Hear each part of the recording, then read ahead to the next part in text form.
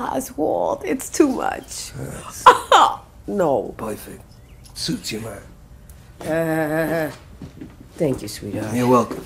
I would love to hear a little bit about what it was like developing the really unique mother son dynamic that you have with Farrell's character.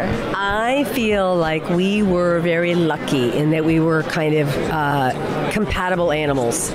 So we were two actors who kind of went off into our own, um, you know, training camps, and there was a lot of homework to do. There was a lot of homework to do on the dialect. There was a lot of homework to do on the thinking about the disease that my lady had. There was a lot of homework to do on what what the backstory is, which you get to learn very slowly in dribs and drabs.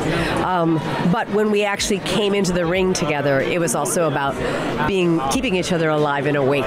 It was one of the happiest experiences I've ever had. Oh, that's great. Yeah.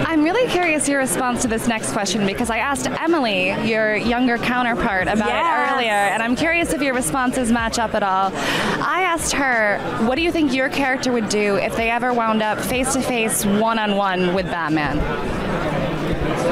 Laugh at him. Hate to say it. Be like, really?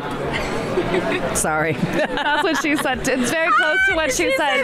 she said she wouldn't care and probably light him a cigarette and just make him go away eventually. Yeah, yeah. I think I think you know he really yeah. It would be a matter of indifference to Francis. Sorry, Batman.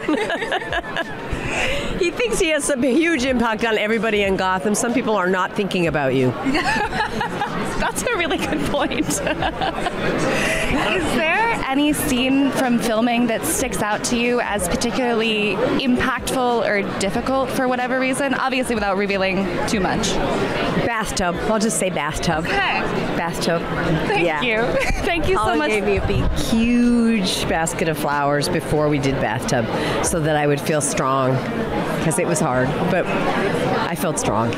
We're gonna leave town for a while. Yeah. Take a little vacation. Oh, vacation to where? You know I hate flying. Yeah, we're gonna drive. We're gonna drive. Who's who's gonna drive? You gonna drive?